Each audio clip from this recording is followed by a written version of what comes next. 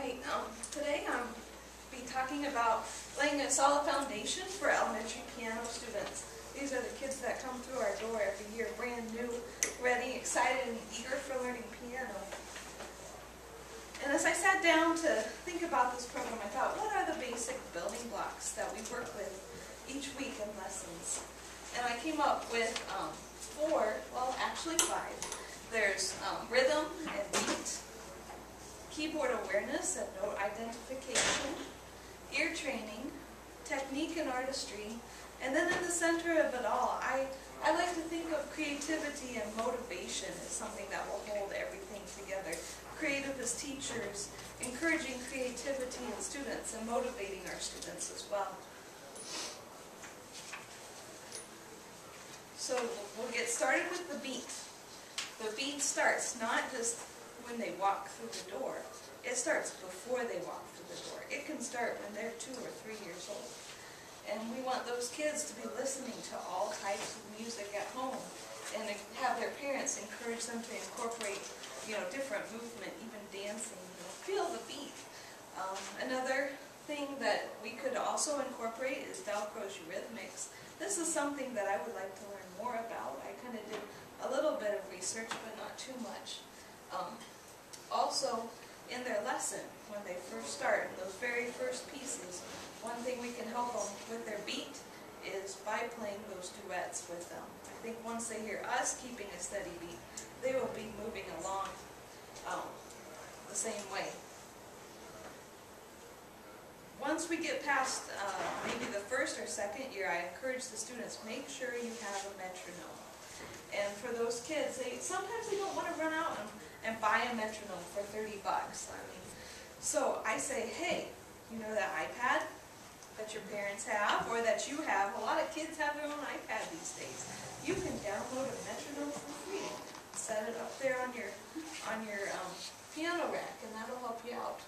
Also, with the iPad, there are things that would keep a metronome um, beat with uh, different rhythms. You know, when you go to the mall and you hear that digital piano playing. I always have the kids try out their songs on the digital piano to help keep the beat with that. And that, I mean, it makes it fun, it makes it exciting, and they love it. Um, so then, with our with our iPad, I found this game that will help students, but I'm just addicted to it, so I shouldn't even start it right now. yeah, we'll start it. Okay, so the most addicting sheep game. Has anybody seen this before? Okay, what it is, and it's nothing too involved. All you have to do is tap the screen to make the sheep jump over the gaps, and it's to the beat.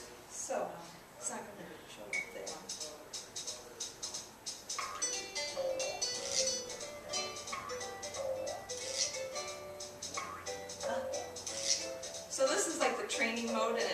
How to hit the screen. I was almost late there. And it gets more and more difficult. Oh!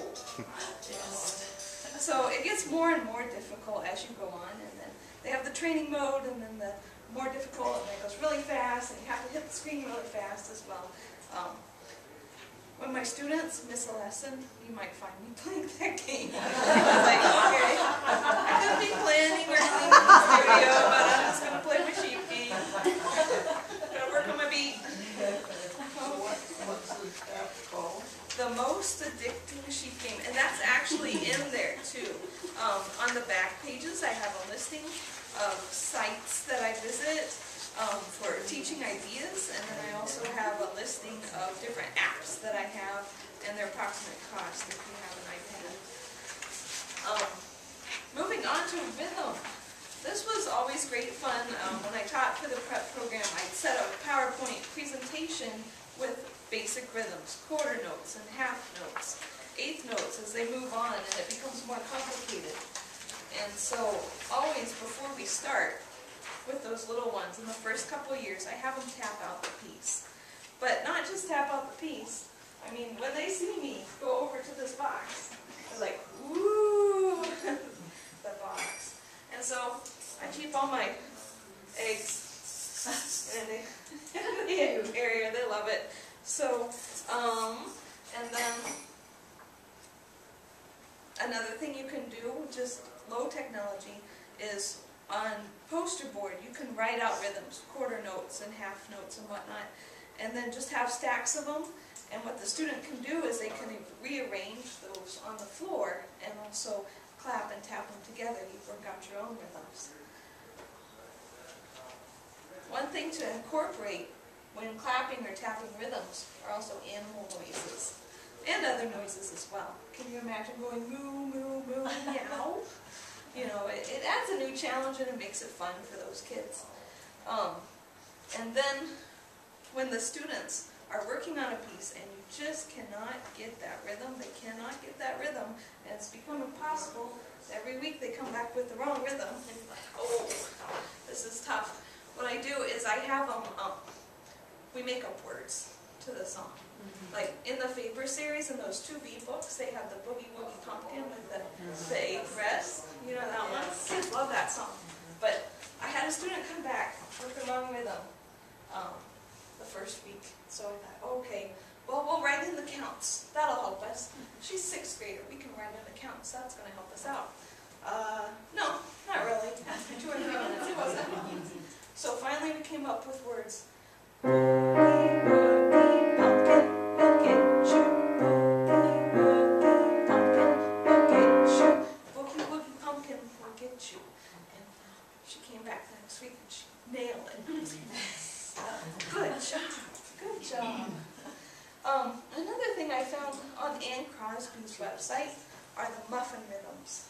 Has anybody seen the muffin rhythms? Yes. The Muffin Man and the rhythms.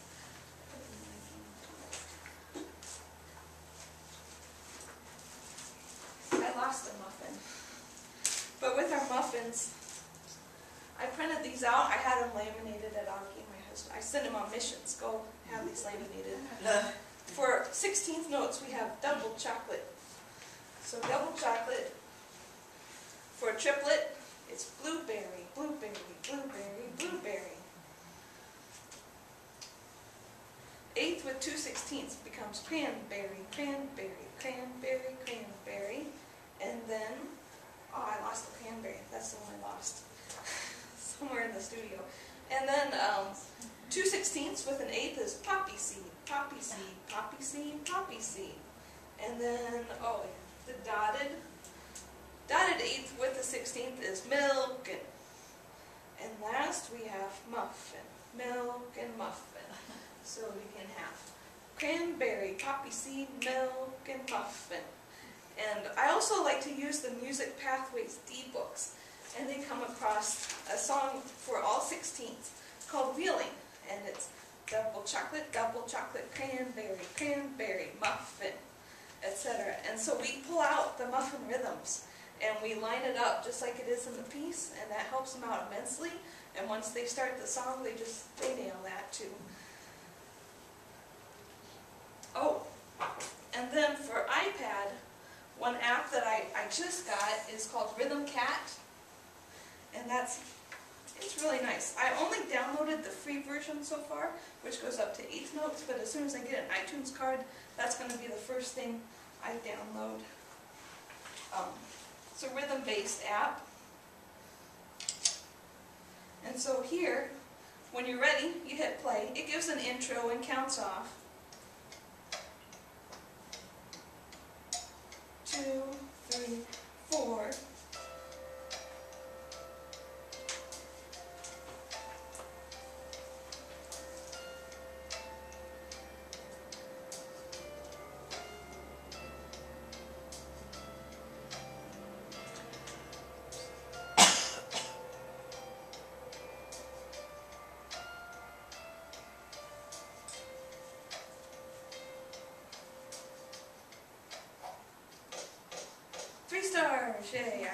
I I got through that one. I picked an easy one. It's okay, I drop stuff all the time. Ooh, that's different, okay. Okay, so, um, when you guys do your rhythms, do you prefer to say numbers or syllables? with the students, numbers or syllables? Depends on the Out Depends on the student and the age, yes. Anything out loud. Mhm. Yeah, They, it's like, I say need they're to doing it in the mind. No, no. Not cool. Okay, so for my students, we say ta on the quarter notes and ta ah. When they get to about their third year, I start writing in counts or have them write in the counts. That helps out too.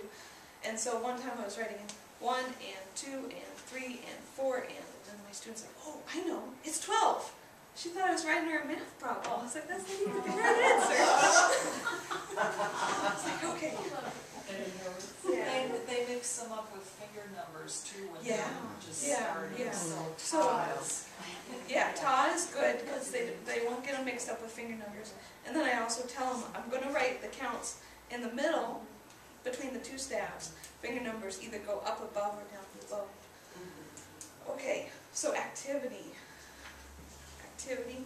You want animal sounds or rhythm instruments? Animal sounds, okay. Right. So my keyboard buddies, and we, we race with the keyboard buddies. You're laughing. Kia, you can pick a keyboard buddy for this sign. A Frog, A little frog. ribbit, ribbit. Okay. So you guys are the ribbits?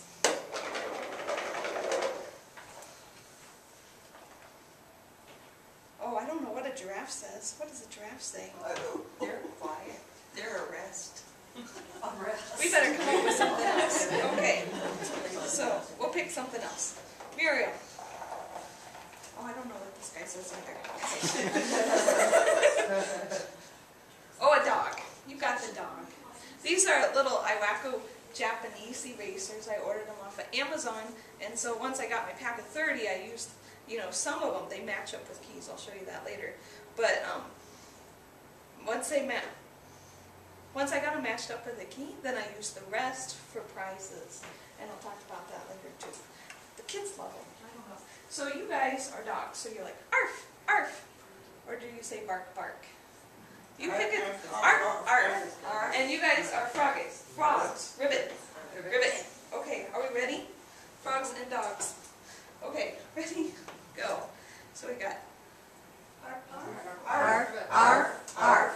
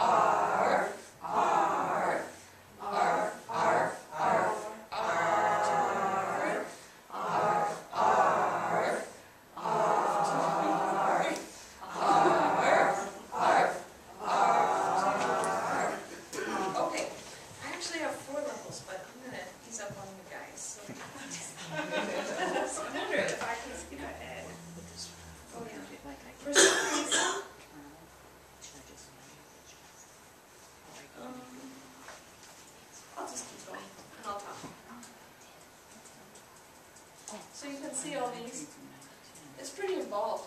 Level two, I have lots of eighth notes, and I also incorporate more rests. And this is just in a PowerPoint presentation, dotted quarter notes, etc. Um,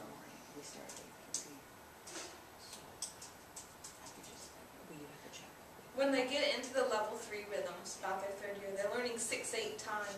And so I incorporate the dotted quarter notes, and then the triplet in the six, eight time, we say.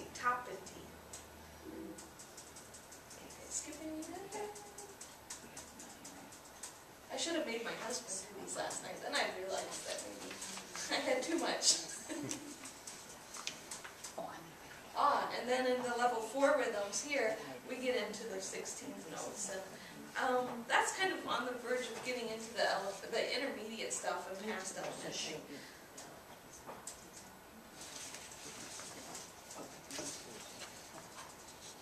Ah, Okay. And then also, moving on, away from the rhythm and the beat, I like to make sure that my students know their keys. If I see them sitting there and I'm like, okay, let's start on Z, and they're like, do, do, do. I was like, okay, yeah, we gotta, we gotta review this, and I gotta help you out with this. So one thing I do is I send them, oh, I'm sitting on my iPad. My poor iPad might not make it. That was great. Christina, I love your book boxes. Where did you get those? Oh, I got those at, um, Michael's. Really? Yeah, and I sat on one of them the other day, so it's Oh. I was just sitting on everything, I should look before I sit down. Um, this was an idea that I got from Karin Schultz, like last year when she did that presentation. I, I went to um, Hobby Lobby, and if you tried to buy key pogs at that time, I bought them all. and so I, I bought these little round pogs, and then I went and got the um, scrapbooking stickers, and I stuck the letters on there. So if I need to do scrapbooking, I'm out of A, B, C, D, E, F, and G right now. but I send them home with the kids, and I have either their parents drill, drill them or, you know, an older sibling. I say, you know, just, I'm going to send these home with you, and they're going to visit your house this week. Make sure you bring them back. But I said, I want you every day to mark your keys, you know, do a drill and see how long it takes. And so sometimes we'll also time them on the, um, the iPhone in the studio. And then another thing we do, which is also more fun, I guess, are the, the keyboard buddies. So um, I have just a different assortment, and when I pull these out, I have A for alligator, B for bear, uh, C for cat, D for dog, E for elephant, F for frog, and G for giraffe. And so you'll see a video of a student marking those with the, the keyboard buddies here in a little bit. Another thing we want our students to know are those staff names. And so the, the staff note names, and we've all learned our mnemonic devices growing up. We all grew up with probably every good boy does fine and all cows eat grass. Sometimes those students are coming in with the bass clef lines. Um, instead of great big dogs fight animals, I always thought that was kind of violent, but they come up with good boys do fine always. And I was like, that could get mixed up with those treble clef lines, you know, now they're saying either one. So I just kind of, I tell them, I said, this week, you know, I'm not going to tell you what the, the device is to know these unless you learned it at school. If you don't know, I want you to make up your own. I want to see what they come up with. Well, I have a kid on Thursday, and he came back with this one. He's, he's a little bit different, but he came up with uh, evil grandma bites Dora's finger. I'm oh, I would have never imagined. So we laugh and laugh and laugh, and then the next kid comes in, and they're like, what are you laughing at? I said, evil grandma bites Dora's finger. So then it gets around the studio, and now it becomes the new norm. we gotta find something different for these kids to talk about. Um, also, what I like to use, of course, are the landmark notes. And then um, next year, when it comes out um, on Susan Paradis's site, she's got the One Minute Club. And the One Minute Club is a set of flashcards. Has anybody used that before? It's just a set of flashcards, and you try and have the students get through that set of flashcards in a minute. So it goes up there, and then they um, play it on the keyboard so that they they know what their notes are. And um, so then for the iPad, which I will try not to drop,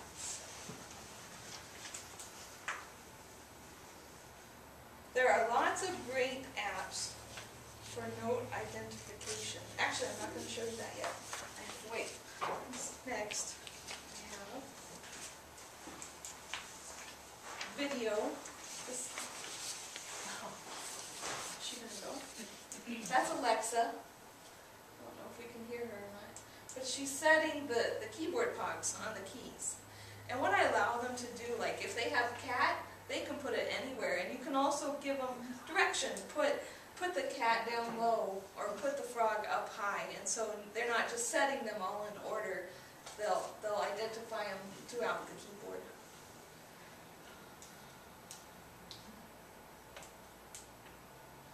I noticed in her lesson Tuesday she was counting her keys. I was like, oh, time to break out our keyboard buddies. So there she's got her elephant and finally the alligator.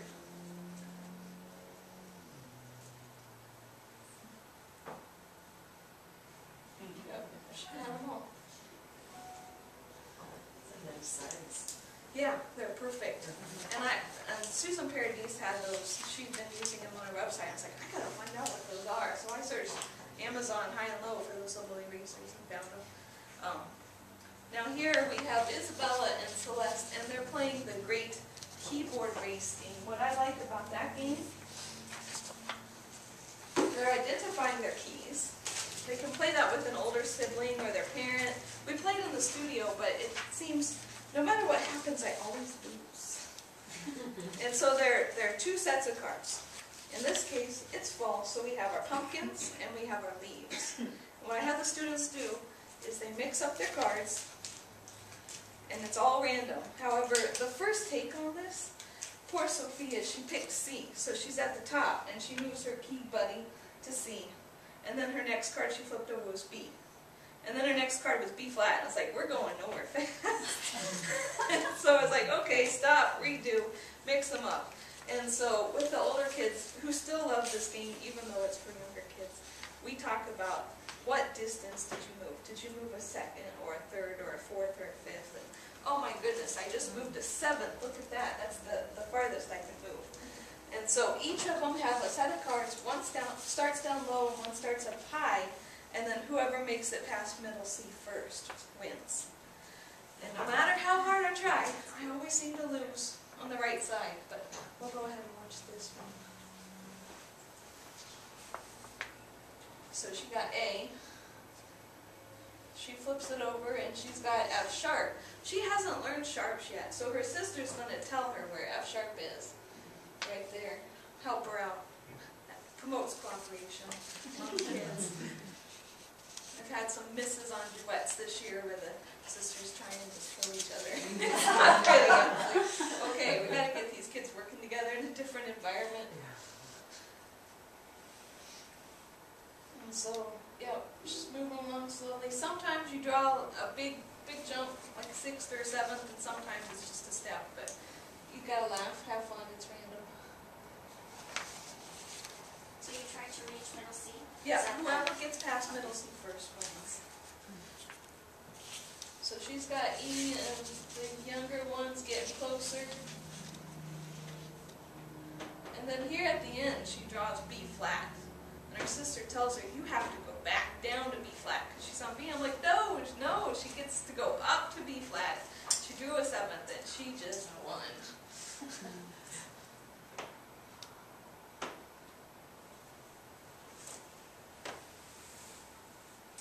Yep, so there she's drawing B.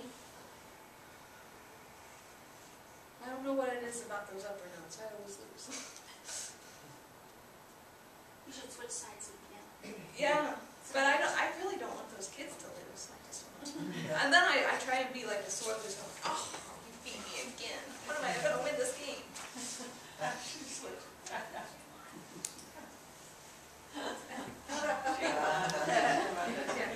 And so there are other versions on her website too.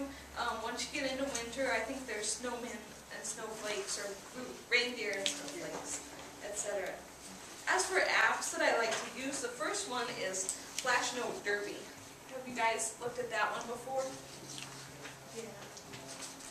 I like it because um, when you set it up, you can choose the notes that they are playing with. So either you can choose a bass clef, whoops, or you can choose treble clef. You can choose a whole range of notes. They even have alto and tenor clef. So if there's anybody in here teaching viola or one of those instruments that use those crazy clefs that I can't understand, you can use that too. Um, so I'll just play a little bit of the game. Christina, do you do these in your studio, just send these apps home, give them references for home, or do you do both? We, right now, we're working with them in the studio. I think in a few weeks, I'm gonna put out like a, a posting on my website and talk about which apps. Because I've had some parents, you know, get interested in what I'm, I'm doing in the studio, and that's great. I mean, it's just, you know, a few dollars. So this, Flash Note Derby, it's a horse race. There's lots of cheering, so it puts up here a flash card, and then you choose A, B, C, D, E, F, or G. So here I got an A. Lots of cheering, so it's it's really encouraging. Yay!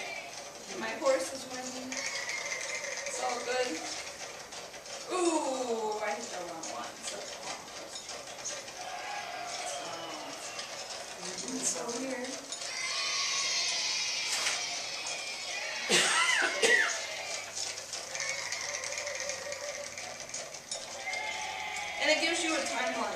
So I mean, they can't sit there and look at it all day, They've gotta get it in a certain amount of time. It goes through ten at a time.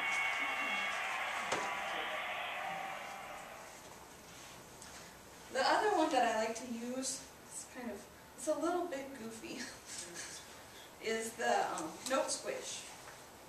Where did note squish go? There it is. So, I started this last night. So here you got it, squish the little gophers, it's like the whack-a-mole type thing.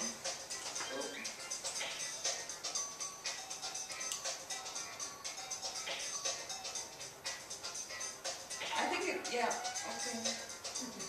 Gives you a minute or so to complete. Uh,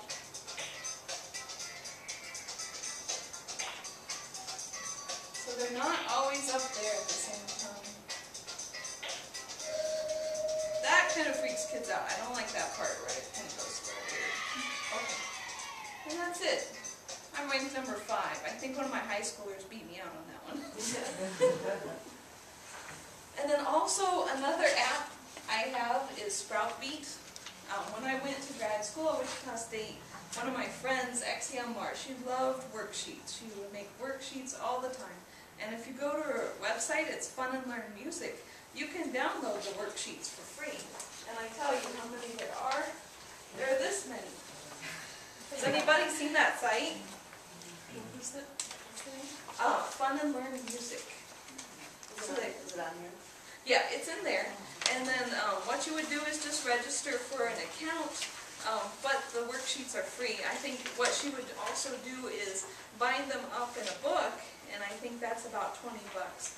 Um, if you get their, their app, which is Sprout Beat, you can download, you have unlimited downloads for the worksheet, but the free version, you get 25 free worksheets. And then if you want unlimited access to the worksheets, it's twenty dollars. It's kind of a steep price, but, um, I think it's worth it for the kids. My only downfall is that I don't have Wi-Fi in my studio, so whatever worksheets I want to use with the kids, I need to download before I get there. And then it also doesn't pop up the pictures when I'm trying to figure out what one to give them, like the landmark notes, or, um, there's some that go as far as the order of flats and sharps for the older kids. So there's a wide range of worksheets. If you go to the website, you can check out what all is there. But with the app, this is our notes in C position, and you can choose if you want to draw with a pencil, a pen, or a marker. And for the marker, you can choose, have a choice of colors as well, so it can be colorful. We'll go with red. And so I just put my finger on there, and I draw it, just like that. And then it's up to you, the teacher, to check their work when they're done. Nothing here will check their work. And then if they make a mistake, just hit undo, and the gone. Yeah, so it, it's good review. I mean, if you got siblings back to back in a lesson, you can hand this over and say, hey, work on this worksheet, you know, and then give them another one really quick. It doesn't take much. Intervals and finger numbers. That's the next step. You know, after they have those landmarks down, we start thinking about, are they stepping or are they skipping? Do we need to step or skip in the song? And what I like to use, um, like in the Pathways books, they have a pseudo staff with only uh, three or four or five lines, not even a regular staff. So what I did, I had some students who were struggling with steps and skips. I went and bought a marker board at Target, and then um, with my great creative genius, I took some duct tape and I, I put it on there for the staff. And what they do in the lesson is we have these magnets also Target, and they can stack them on there, and we kind of make a little mini song, go up and down, etc. And I have them, you know, draw whatever they want. And then we're, when we're done, I'm not gonna set this on the piano because the piano's too nice. But we can, um, we can play it and just have like finger two and say, what did we do? Oh, we went up a skip, and then what next? Go down a skip, go up a skip, go up a skip, go up a skip, go up a skip, and we step through it like that. And that's just, you know, a little bit of review at each lesson. I forgot to tell you, okay.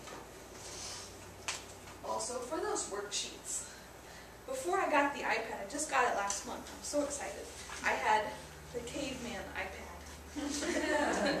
and so, then I started going, ooga booga, caveman iPad. My student's like, don't do that, that's crazy. You're freaking me out. So, what I do with the caveman iPad is uh, those worksheets I had printed off, I can put them in there and then they can complete the worksheet and then you can erase it. So you don't have to keep printing out worksheets for the students. And so that worked really well at the time. Where'd you, where'd you get that? I ordered it off Amazon, but I think they have them at Target and Walmart. What is it really called? Oh, what is it called? It's the Crayola Dry Erase Yeah, Marker Center or something like that. they're actually cheaper on Amazon. I think they're like Yeah, eight eight dollars. dollars, but Yeah. I think they're like ten or twelve in Target. Yeah. But then you have to pay four dollars shipping anyways. Well, unless you have Prime. Eh, it- Yeah, and then, and then it's free. Yeah. Sit on. Or was, I wasn't, I'm done with that, go back. Okay. And then, with strong intervallic reading, that leads to the ability to transpose a song. Um, in the Music Pathways books, in the B books, we get into those five finger patterns, and I just try and, you know, get through them as fast as I can. And then if they're playing a song in the C pattern, I say, oh, let's transpose it to the G pattern. And then if they're playing a song in the D pattern, I say, let's transpose it to the A pattern. So those are easy transpositions. And after they have that done well, then, you know, I'll take a song from I'll say transpose it to the C pattern. And so then I know, you know, okay, we're not gonna sharp that middle one or flat it or anything. We're just gonna play the C pattern and play the song. And they got it. And I had one student who was, um, really excited one day, he figured out the B pattern in the lesson, because we had played the C and the D and the E and F and G and A patterns, and he said, I want to know B. Okay, we'll learn B. And so then, the whole lesson, all of his songs that were in a five finger pattern, he played them all in the B pattern. This is the same kid that does um, Evil Grandma. that was that was pretty exciting. That was a fun day. And so, um, one I've been to the MTNA conference a couple times, and there was a gentleman there one year, and he really motivates his students to think fast with those finger numbers and the intervals. And so he'll say, start with right hand thumb, and he'll say up a third, down a second, up a fourth, down a second, down a second, down a third. What finger are you on? What's your thumb? And so they go through it. But I mean, you can do whatever speed you want. So try this, okay? Left hand, start with finger four, up a second, up a second, down a third, down a second, up a fifth, down a third. Yeah. And so those kids, you know, were, he had a video, and they were just rattling them off pretty fast. It's like, wow, think fast. Technique and artistry, this is a big one for our students. I like to use those Faber technique secrets at the beginning of the books, and I go through them, but then I treat them like it's a real secret, you know. Okay, kids, you know those strong fingers? Not a lot of kids do this, so if you put this down, it will be so awesome. And, and then, you know, one day, I had a student in there, and she's a third year student, and her fingers were perfectly curved and strong, and I said, why do you do this? And none of the other kids, you know, they're all kind of smushy fingers. I said, what's up with that? And she's like, well, you told me to. I said, I wonder what I said. but yeah, she had it, and so I, I kind of treat stuff like a secret. You know, if there's a part coming up in a song, I say, you know what? Everyone misses the skip at the end of the song. Maybe you will be the one to get this right yeah. Um, and then also acknowledge good technique. So if you're sitting there and you see them with curved fingers, you know, if I see them sitting there with curved fingers, I was like, wow, that is so awesome. I am going to take a picture of that and send that to your mom because that's just great. um, and like I said, with our five finger patterns, we start those about the second year. Encourage different ways to practice the five finger patterns, not just legato, but also incorporate staccato. Or if we're learning a new dynamic, like fortissimo or pianissimo, we incorporate that. Uh, crescendos and diminuendos, or like I'll say, when you're playing this, accent that third finger, da da da, you know, and we'll have different rhythms as well. On the back of your handout is the five finger express, that's from our Music Pathway C books. And that, you can play a different five finger pattern each day. Well, no, you play all your five finger patterns, I don't wanna get that mixed up. Play all your five finger patterns six days and a different rhythm each day. And sometimes they get a little bit mixed up looking at that, and they'll just go C, C, C, C, C. Well, I'm like, no, you gotta kind of demonstrate it for a little bit, and then also maybe write in the finger numbers so they, just to start with, so they get it, and they understand what's going on. And then once they've worked with that five finger express, I say, why don't you write your own rhythm for, you know, your five finger pattern?